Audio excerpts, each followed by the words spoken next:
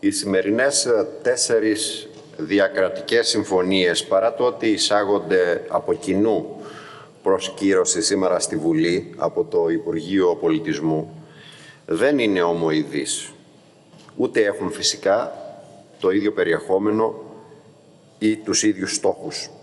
Οι δύο από αυτές τις συμφωνίες αφορούν στην πολιτιστική συνεργασία της χώρας μας με την Πολωνία και τα Ηνωμένα Αραβικά Εμμυράτα. Πρόκειται για τυπικές συμφωνίες πλαίσια πολιτιστικής συνεργασίας μεταξύ της χώρας μας και των άλλων χωρών, των άλλων δύο εμπροκειμένων χωρών, ε, και στην περίπτωση της Πολωνίας η συμφωνία διευρύνεται και στους τομείς των επιστημών και της παιδείας.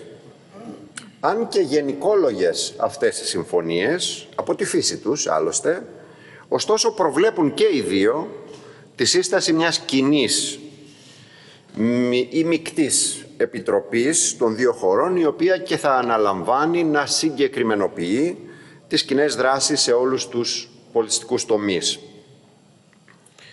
Ε, είναι γνωστή νομίζω η στάση του ΚΚΕ, η στάση αντιπολιτευτική, δεν είναι ούτε μικρόψυχη, ούτε κάνει το ΚΚΕ αντιπολίτευση για την αντιπολίτευση. Η αντιπολίτευση που κάνει το ΚΚΕ γίνεται πάντα από θέσεις αρχών, σταθερών στην υπεράσπιση των λαϊκών συμφερόντων και εξ αυτού έχουμε θετική στάση για τέτοιες διμερείς συμφωνίες οι οποίες προάγουν τελικά τη συνεργασία των χωρών και των λαών στον τομέα του πολιτισμού.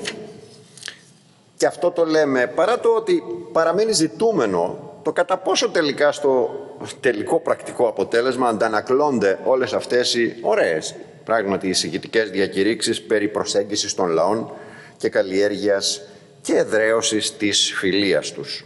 Ή αν τελικά αυτό που μένει από αυτές τις συμφωνίες είναι να ωφελούνται απλώς και πολλαπλώς ορισμένες μόνο μεγάλες επιχειρήσεις. Οι φόβοι μας αυτοί δεν είναι ανέτοιοι, καθώς σύμφωνα με το άρθρο 2 της συμφωνίας με την Πολωνία, αυτή αφορά και επιχειρηματίες που δραστηριοποιούνται στον τομέα του πολιτισμού. Ή όπως αναφέρεται στο άρθρο 5, τα μέρη θα προωθούν τη συνεργασία μεταξύ οργανισμών, ενώσεων και ιδρυμάτων που υλοποιούν εκπαιδευτικά και πολιτιστικά προγράμματα που απευθύνονται σε παιδιά και νέους ιδρυμάτων. Στη διατύπωση αυτή χωράνε και όλα τα ιδιωτικά ευαγή, μορφωτικά και πολιτιστικά ιδρύματα του κεφαλαίου των σημαντικότερων τουλάχιστον εκπροσώπων του. Ξέρετε, ξέρετε όλα αυτά τα ιδρύματα των εφοπλιστών και των βιομηχάνων, τα οποία έχουν αναλάβει εργολαβικά και με το αζημίωτο ολόκληρους τομείς του πολιτισμού στη χώρα μας, χτυπώντας ταυτόχρονα ή μάλλον ανοίγοντας καλύτερα και την πόρτα της ελληνικής εκπαίδευσης. Και όλοι αυτοί ξέρετε, δεν άρχισαν ξαφνικά να φλέγονται από το πάθος της πολιτιστικής τους προσφοράς προς το λαό.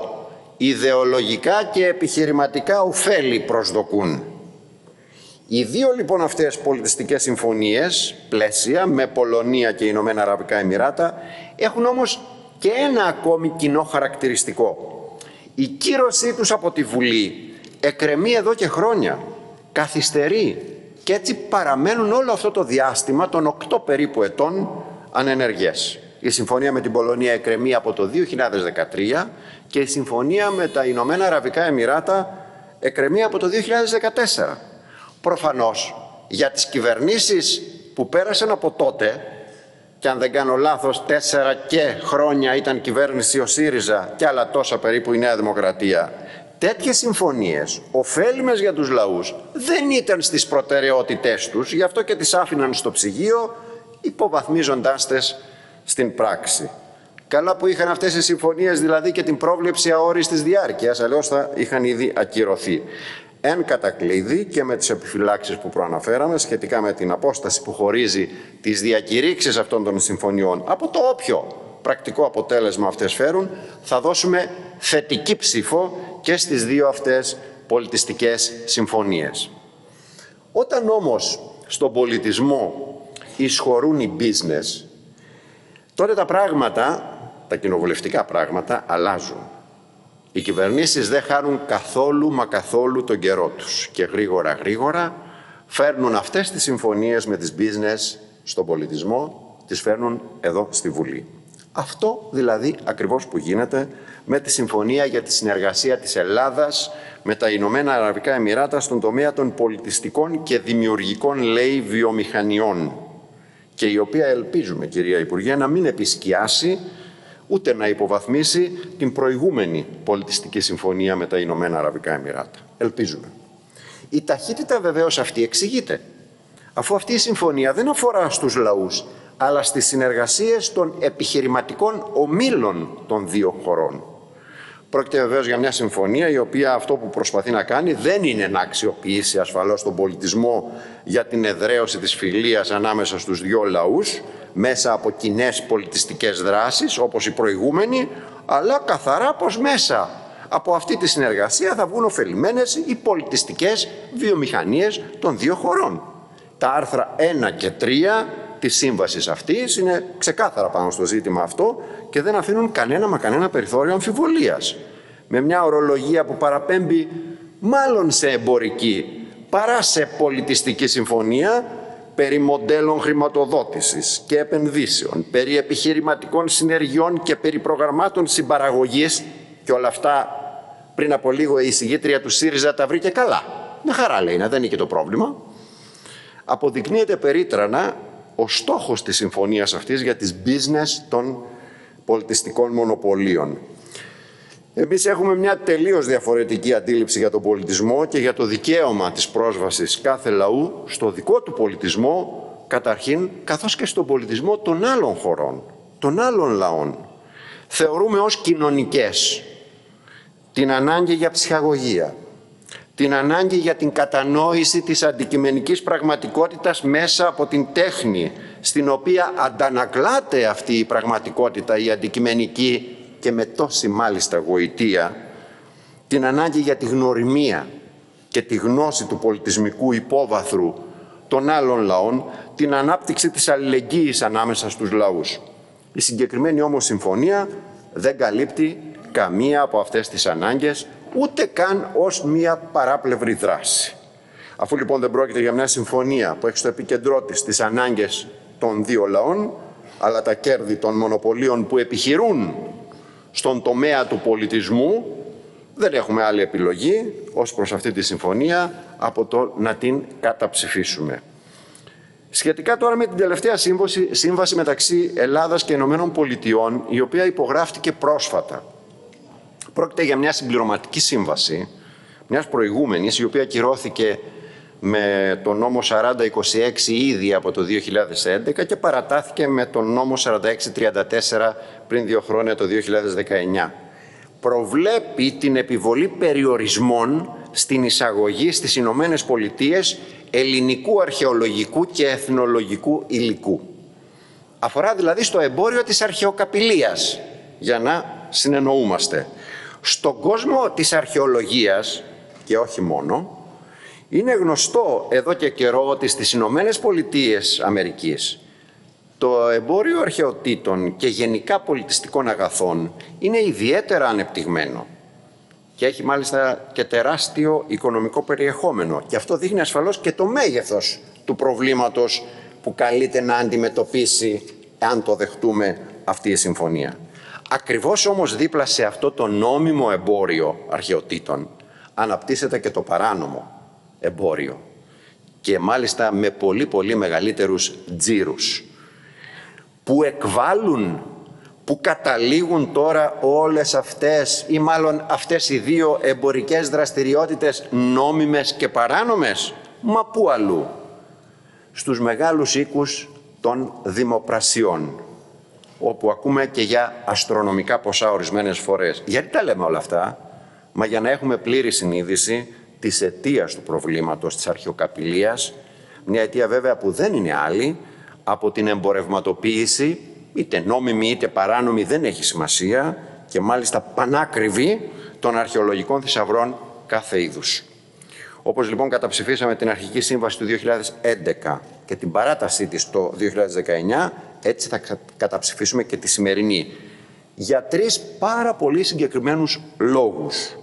Πρώτα-πρώτα γιατί ο περιορισμός στην εισαγωγή στις Ηνωμένες Πολιτείες αρχαιολογικού και βυζαντινού υλικού βασιζόταν και θα εξακολουθεί να βασίζεται σε ένα κατάλογο τον οποίο έχουν δικαίωμα να διαμορφώνουν οι ίδιες οι Ηνωμένες Πολιτείες αυθαίρετα και χωρίς συγκεκριμένα κριτήρια έστω και αν είναι, όπως είπε προχθές η κυρία Υπουργός, με τη συνεργασία του Ελληνικού Υπουργείου Πολιτισμού. Πάντως τον αποφασιστικό ρόλο θα τον έχουν αποκλειστικά εδώ οι Ηνωμένε Πολιτείες. Εμείς αυτό καταλαβαίνουμε. Τα μόνα κριτήρια που τίθενται για τη σύνταξη αυτού του καταλόγου είναι τα χρονικά όρια, τα οποία όμως συνήθως περισσότερο επιτρέπουν τελικά την απεριόριστη εισαγωγή των εκτός χρονικών ορίων υλικών παρά προστατεύουν το υλικό που βρίσκεται μέσα σε αυτά τα όρια. Και κάπως έτσι η απεριόριστη εισαγωγή συνεχίζεται έστω και με κάποια εμπόδια. Ταυτόχρονα διατηρείται και εκείνη η δραματική αποψήλωση των υπηρεσιών του Υπουργείου Πολιτισμού σε αρχαιοφύλακες και αρχαιολόγους που συντελέστηκε με ευθύνη όλων των προηγούμενων κυβερνήσεων τη στιγμή μάλιστα που έχουμε μια αξιοσημείωτη διεύρυνση της παρουσίας των ξένων αρχαιολογικών αποστολών στη χώρα μας. Και τέλος, μέσα και από τη σημερινή σύμβαση με τις Ηνωμένες Πολιτείες εξακολουθεί να υποστηρίζεται η εμπορευματοποίηση ασφαλώς της πολιτιστικής μας κληρονομιάς. Υπάρχει όμως και ένας επιπλέον λόγος. Με βάση τα όσα αναφέρονται στην εισηγητική έκθεση αλλά και στις ρηματικές διακοινώσεις που προηγούνται αυτών των συμβάσεων και συμφωνιών αποκαλύπτεται ότι πρόκειται για μια ετεροβαρή στην ε, Επιτροπή μίλησε για μια απεικιοκρατικού τύπου και θα επιμείνω σε αυτό το χαρακτηρισμό απεικιοκρατικού τύπου σύμβαση με την οποία η ΜΕΝ Ελλάδα, προσέξτε, είναι υποχρεωμένη να αποδεικνύει ότι παίρνει μέτρα κατά της παράνομης εξαγωγής αλλά οι Ηνωμένε Πολιτείε, το άλλο μέρος δηλαδή, δεν υποχρεώνονται να καταθέτουν απολύτως κανένα στοιχείο για την τήρηση της συμφωνίας. Με λίγα λόγια, η σύμβαση αυτή δεν υποχρεώνει τις Ηνωμένες Πολιτείες να δίνουν λογαριασμό στην Ελλάδα για το τι έκαναν, τι κάνουν και τι σκοπεύουν να κάνουν σχετικά με το εμπόριο στη χώρα τους, το εμπόριο τίνων των αρχαιολογικών θησαυρών της δικής μας χώρας. Να δούμε αν θέλετε εδώ και να κλείσω με αυτό κύριε Πρόεδρε τον απολογισμό της σύμβασης, της αρχικής σύμβασης από το 2011 για τις επιστροφές αρχαιοτήτων στη χώρα μας από τη ΣΥΠΑ. Να δούμε αυτόν τον, τον, τον απολογισμό για να κρίνουμε. Ο απολογισμός αυτός είναι πάρα πολύ φτωχός. Μιλάμε ότι έχουν επιστραφεί 15 ασημένια νομίσματα και ένα τμήμα μιας σαρκοφάγου και αυτά είναι όλα, αυτή είναι η περιβόητη αποδοτικότητα αυτής της σύμβασης την τελευταία δεκαετία. Είχε πει παλιότερα, ε, έχουμε πει παλιότερα και για τους δύο κούρους που είχαν κλαπεί το 90 από το Μουσείο της Κορίνθου, αλλά αυτοί επαναπατρίστηκαν, από όσο θυμάμαι, το 2010, πριν την υπογραφή της συμφωνίας, οπότε δεν θα θεωρήσουμε ότι, ότι είναι αποτέλεσμα εκείνης της σύμβασης. Καλά έκαναν και επιστράφηκαν. Έτσι πρέπει. Εδώ